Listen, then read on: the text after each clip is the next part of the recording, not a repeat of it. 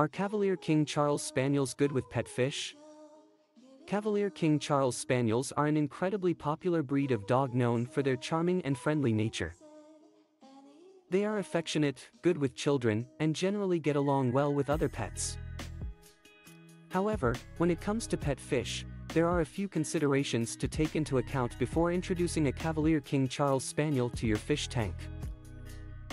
First and foremost, it is important to recognize that every dog is an individual, and their behavior may vary. While Cavaliers tend to be gentle and well-mannered, there may be exceptions. Some dogs have a higher prey drive than others, which means they may be more inclined to chase or even harm small animals such as fish. It is worth mentioning that Cavaliers were originally bred as hunting dogs, specifically for flushing out small game. This instinct may still be present in some individuals, and it could potentially manifest itself in the presence of a fish tank. Therefore, it is crucial to closely monitor the dog's behavior and take precautions if necessary. One way to ensure the safety of your pet fish is to provide a secure and well-protected aquarium. Make sure the tank has a strong lid or cover that prevents your cavalier from having access to the fish. Additionally, consider the placement of the tank in your home. If it is within easy reach of the dog, it might be best to move it to a location that is not easily accessible. Training plays a significant role in determining how well a Cavalier King Charles Spaniel will behave around fish. Early socialization and obedience training can help the dog understand boundaries and learn how to interact appropriately with other animals. Introduce your dog to the fish tank gradually and observe their reaction. If they show excessive interest or aggression, consult a professional dog trainer for guidance.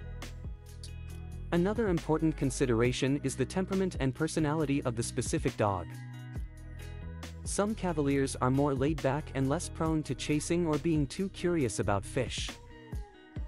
Others may have a higher energy level and a strong prey drive. It is essential to evaluate your individual dog's personality and adjust accordingly. If your dog shows signs of aggression or excessive interest, it may be best to keep them separated from the fish.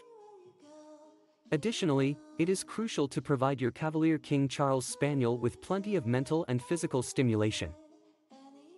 Engage your dog in regular exercise sessions and provide them with interactive toys that keep their mind occupied.